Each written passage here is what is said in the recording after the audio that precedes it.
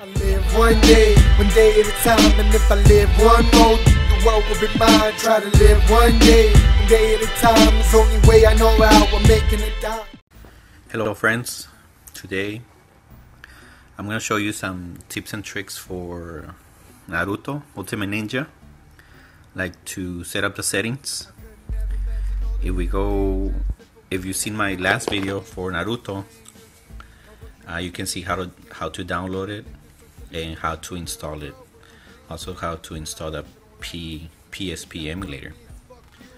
So I do have it on my downloads folder and I have it on my PSP games. This is the folder for Naruto. One more Naruto and that's the game. So here we're just gonna go uh, through the menu and everything how to play it. The thing with this with this game the Naruto is that you won't have the like the settings or the game will be very slow. It's unplayable. It's kind of hard to to play like that. So I'm gonna show you some some tricks some tips for the settings. And we're gonna choose this two. So we're just gonna go into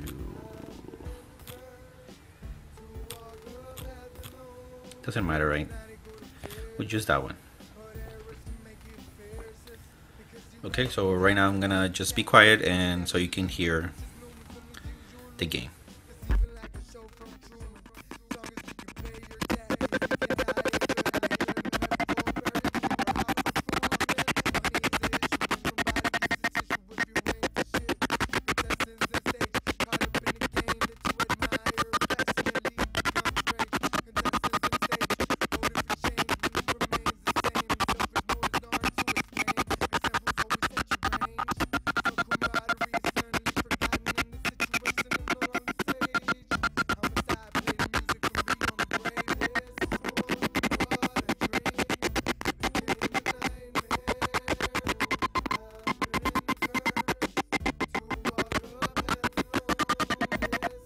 Okay, so as you can see, the the sound is the sound quality is not very good.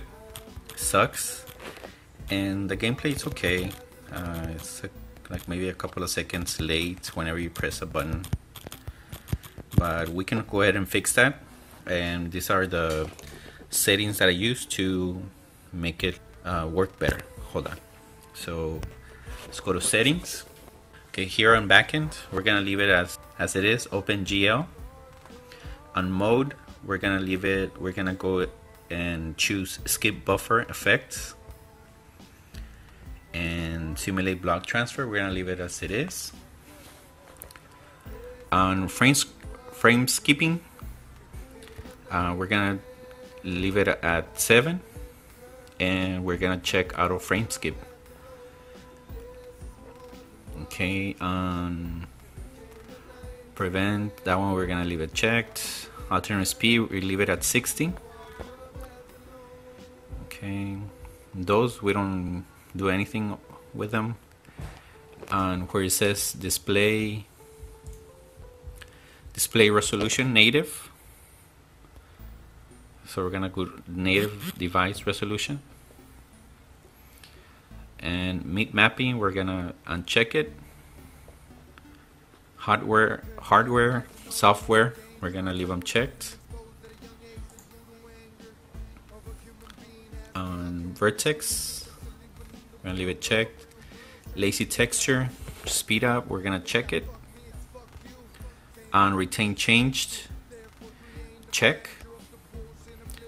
On disable slower effects we're gonna check again. And spline Bezier curves quality leave it the same as high. And those we don't we don't really do anything. Upscale we leave it off. Upscale type VRZ the same. Deposterize. Uh, we're gonna check. And let me see. And I think that should be it. Now let's go ahead and try it with these new settings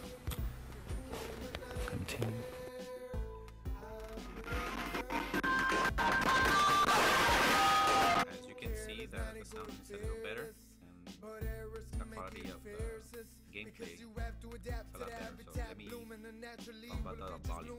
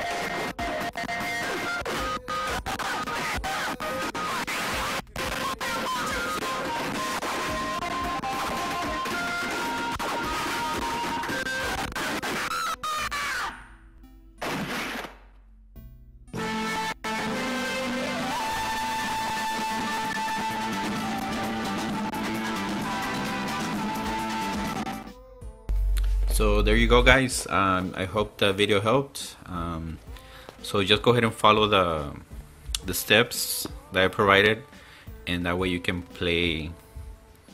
Well, you can have a better experience for Naruto with these new settings.